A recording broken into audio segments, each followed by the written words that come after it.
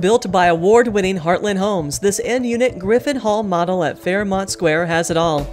There is a first floor with a two story great room, floor to ceiling windows, extra wide hardwood flooring, and a crisp white kitchen with granite counters, an island with pendant lights, and a KitchenAid refrigerator.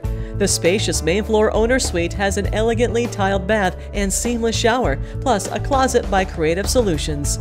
The second floor features an awesome loft and two spacious bedrooms. There is a finished lower level with custom cabinetry. For more info, contact Bonnie Loya.